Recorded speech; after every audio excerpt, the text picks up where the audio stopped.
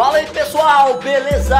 Lázaro na área para mais um conteúdo de FIFA 21, trazendo para você as melhores dicas de trade para você ganhar coins no Ultimate Team. Para você que é novo por aqui, está conhecendo nosso canal agora, aproveite para se inscrever, ative todas as notificações e se você gostar desse vídeo, deixa aquele like para fortalecer, porque ajuda demais no crescimento do canal. Pessoal, a parada é a seguinte, a gente vai falar de análise de mercado, a gente vai falar do conteúdo e eu queria contar para você que ontem, após a premiação do Squad Battles, eu fui dormir por volta de meia-noite Uh, e eu estava com 10 mil coins. Como assim, Lázaro? 10 mil? É 10 mil, mano. 1 mil, 2 mil, 3 mil, 10 mil. Porra, mas outro dia você não tinha 5 milhões? Não, eu não tinha 5 milhões. Eu tinha 5 milhões e meio. Fora os investimentos que eu havia feito. Uh, e aí, de ontem para hoje, né, a gente liquidou o que a gente tinha. E, mano, hoje só hoje eu quero mostrar para você o quanto que eu ganhei com as nossas dicas de trade. Uh, placares de líderes. Vamos filtrar aqui. Amigos. Mensal. Sempre. É, amigos de sempre. Lucro de transferência. Não, eu quero, eu quero semanal. A semana começou ontem, tá? O FIFA zera no domingo a, o que você ganha de coins. E aí, rapaziada, a parada é a seguinte. Nós estamos milionários de novo, mano. Tipo, ah, um pouco mais de 24 horas que passou aí da atualização, nós já fizemos mais de um milhão de coins graças à nossa estratégia. Lázaro, que porra é essa, mano? Como que você faz isso? É mágica? É macumba? É glitch? É bug? Não, mano, não. Tipo assim, a gente analisa o mercado, ah, enxerga as janelas de compra e enxerga as janelas de venda das cartas que a gente compra, tá ligado? Então é muito importante você entender essa parada porque isso muda completamente a forma com que você enxerga o jogo. Eu sei que muitas pessoas só querem ganhar coins, mano, eu não quero assistir vídeo de análise, eu não quero entender o mercado, eu só quero aprender a ganhar coins. E não funciona assim, irmão. A prova disso é que pouquíssimas pessoas vão chegar no final desse vídeo pouquíssimas pessoas vão chegar no final do vídeo. E para você que chegar no final do vídeo, mano, faz o seguinte, vai lá nos comentários e coloca assim, ó, eu fiquei até o final. Porque esses caras são os mesmos caras que, olha só, deixa eu ver se eu consigo mostrar para vocês aqui rapidamente.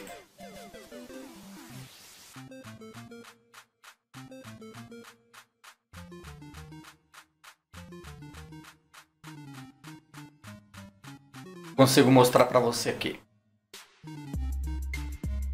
Esses caras que acompanham até o final são esses mesmos caras aqui, ó. Olha só. O Artides vendendo. O Artides vendendo de novo. Aqui, o Artides continuando vendendo. Tá vendo, ó? Uh, aqui, o Juan vendendo. Uh, esse daqui ficou praticamente sem nada para vender, vendeu tudo, né? O pobre coitado. Aqui continua vendendo, a rapaziada continua vendendo, olha só, ó. Ó, maluco vendeu 99 cartas numa listada só, tá vendo, ó? E por aí vai, ó. E continua, mano, e continua, e continua. Se a gente ficar aqui, ó, a gente vai ficar, ó, muito tempo mostrando aí o que, que a rapaziada tá vendendo, o que, que a rapaziada tá comprando. E aqui no nosso, nosso outro grupo aqui, ó, praticamente a mesma coisa. Quer ver? Cadê? Cadê? Aí, tá vendo, ó? Rapaziada mostrando aqui.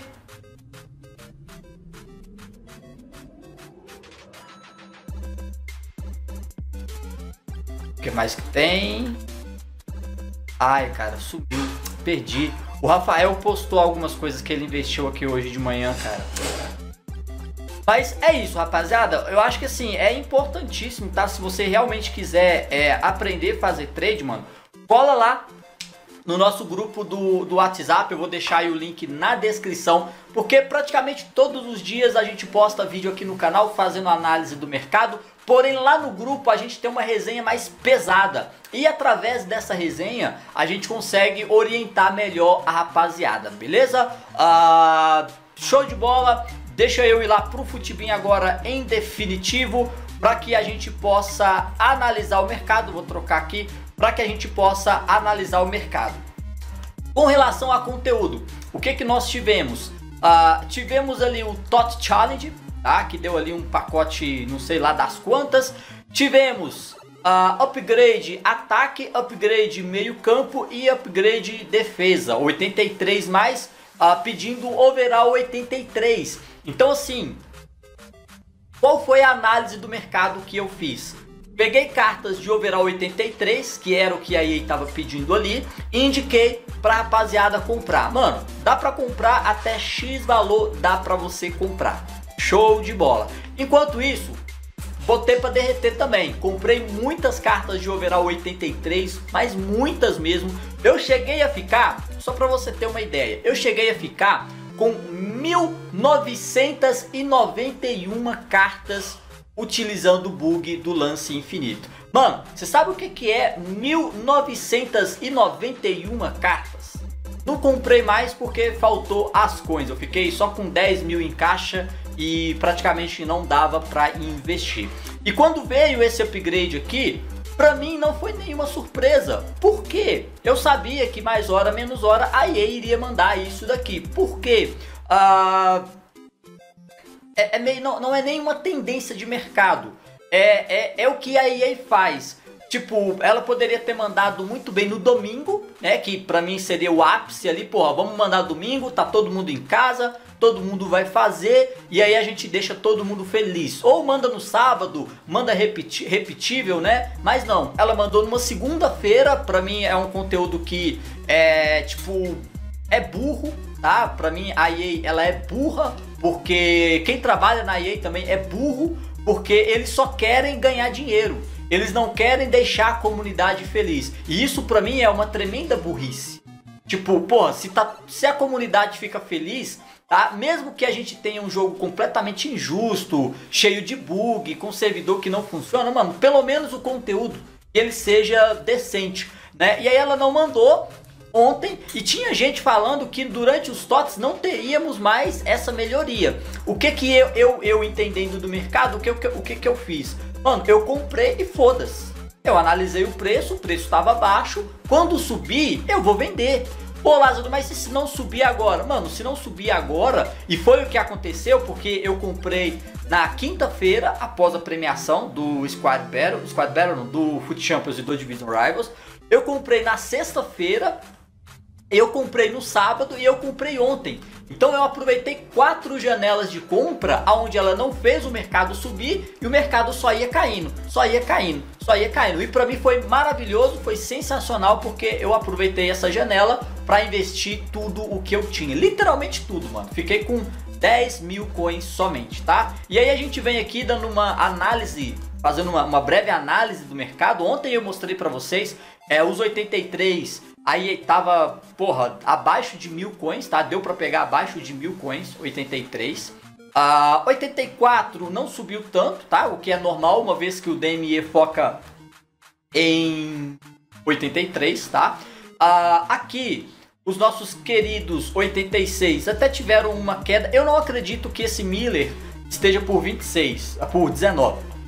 Eu não acredito, tá? É, eu acredito que talvez o Carvajal esteja por 24, talvez De Gea por 24, talvez Hummels por 24,5, talvez, mas não acredito que o Miller esteja por 19 não, tá? Acho que é, é bait da, da do Futibin, é bug do Futibin, tá? E aí a gente vai aproveitar para não perder tempo e ir lá na, naqueles elencos que a gente tá ligado, analisar os 83, mano, é, lembra que eu falei que eu tomei prejuízo com os 83? Porra, consegui recuperar é, boa parte ali vendendo uma guaia por 4K. Vendi uma guaia por 4K na minha conta principal e na conta secundária vendi por 3,5, tá? É, Gabriel Paulista, eu tenho alguns listados ali por 3, né? Vou baixar um pouquinho para poder vender, mas vendi vários por 2,500, então me livrei né, do Gabriel Paulista e do Boateng também, foi bom pra caralho pra mim.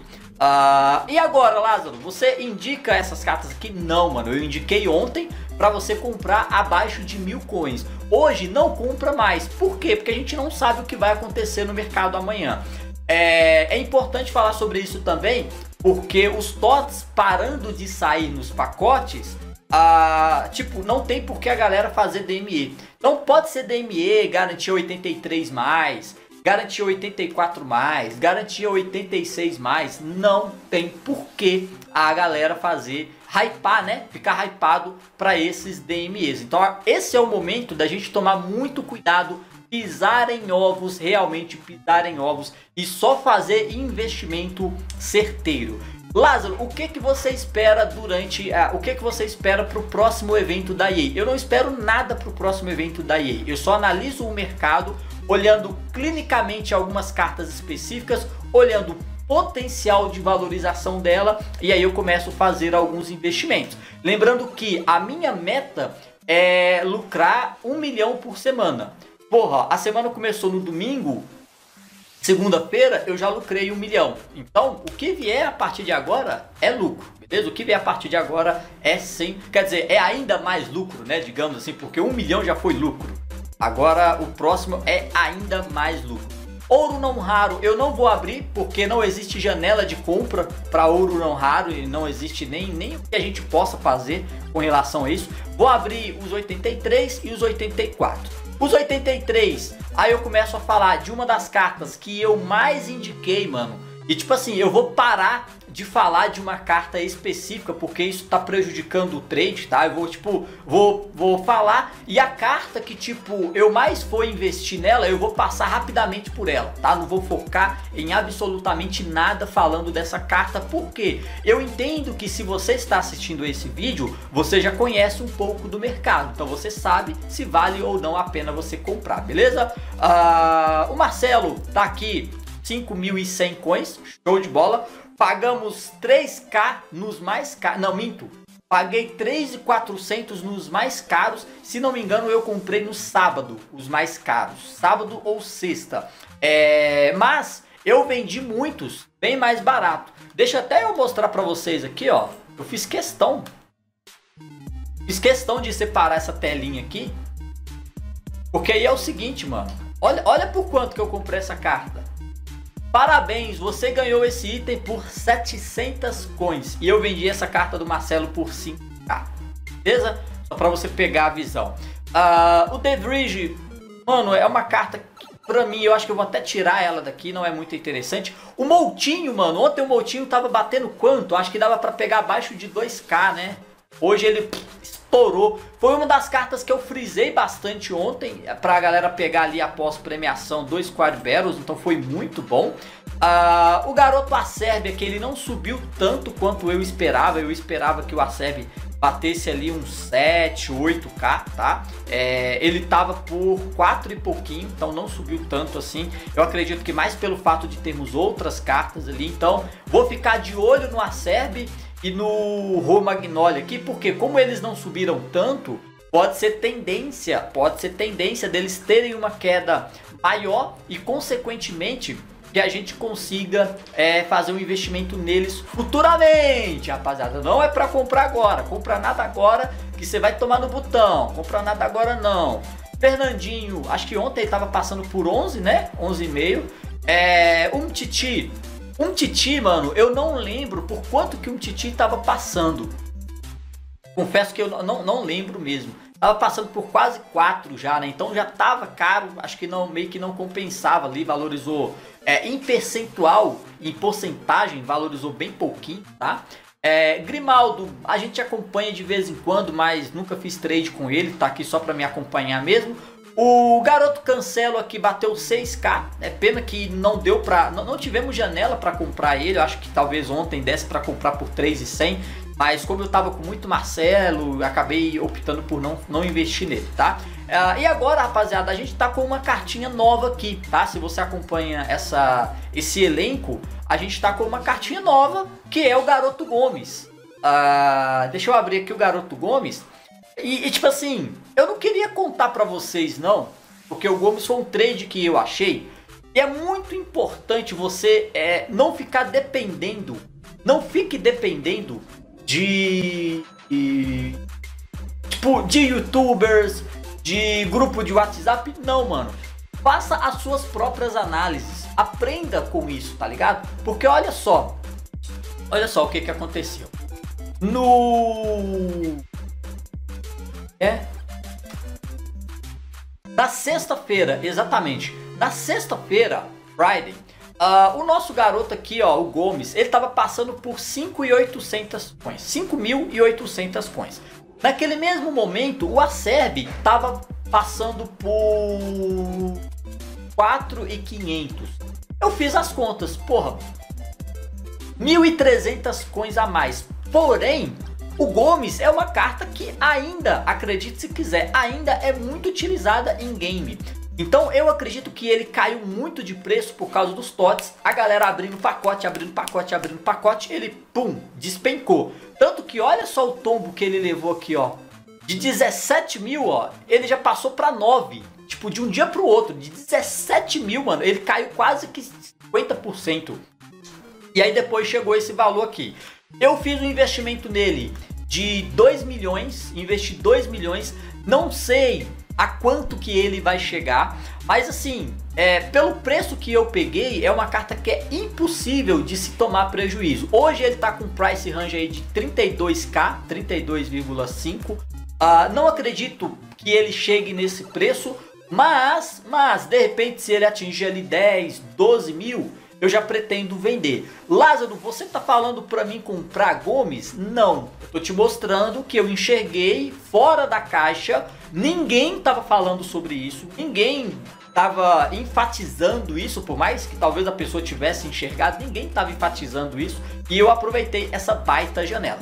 Os mais caros, os mais caros eu paguei 6k. Os mais caros eu paguei 6k. De 5 e de 5 e 500 nos mais baratos, que foram realmente poucos, e os mais caros 6k, beleza? Então, fica atento com relação ao mercado e aprenda a fazer a leitura do mercado, beleza? Então, estamos aqui falamos de 83 e 84 Agora vamos falar de 85 e 86. Vamos começar aqui de cima para baixo dessa vez.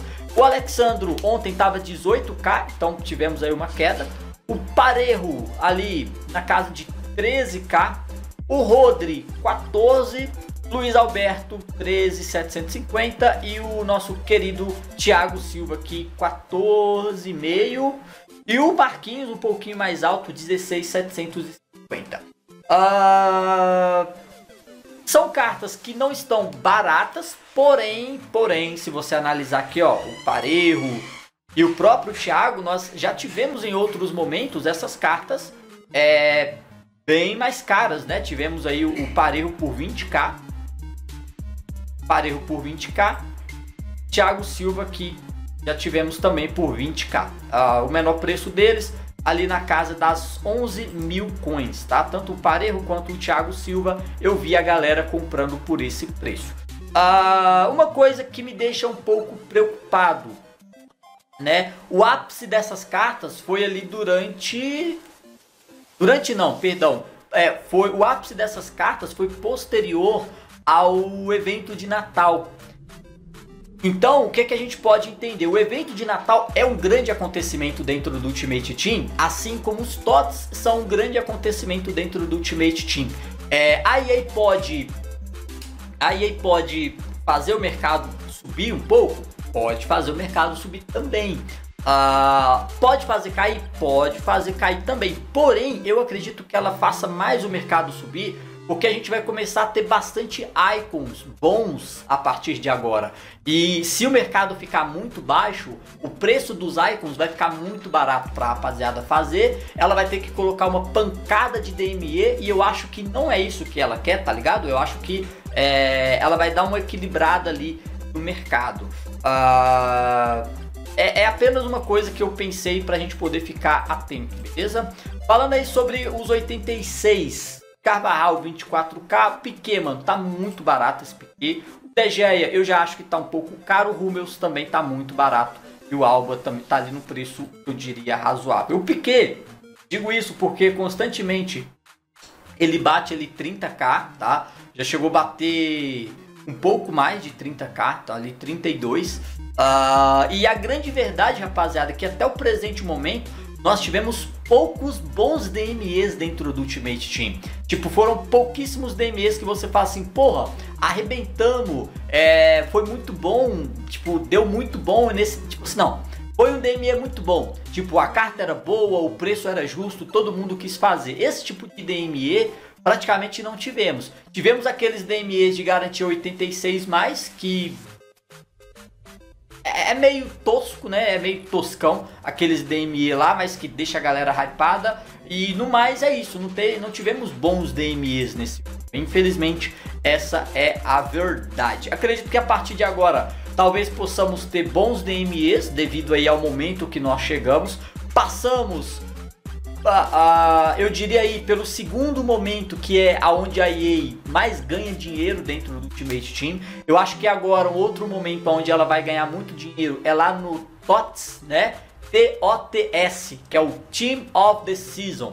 Não confunda, não confunda o Team of the Season com o Team of the Year. Team of the Year é esse que a gente está, né, e ele já está acabando. Termina amanhã, pelo menos as cartas ficarão em pacotes até amanhã. Uh, e o Team of the Season é onde ela solta uma seleção de cada liga grande cada, na verdade, das principais ligas, né? Acho que são 10 ligas que ela solta, então é bastante coisa e depois ela junta tudo ali nos pacotes. Aí lá sim, meu amigo, lá você vai ver o pau torar.